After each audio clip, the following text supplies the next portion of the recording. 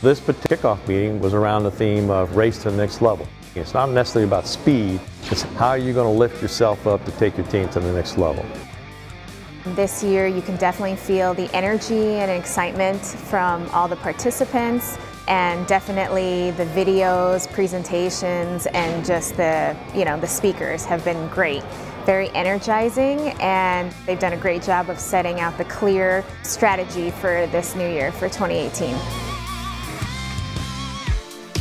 There's so much to learn and you can get up to speed very quickly. And when you network with all your peers around the company, you'll be able to get to that successful level at a much quicker pace.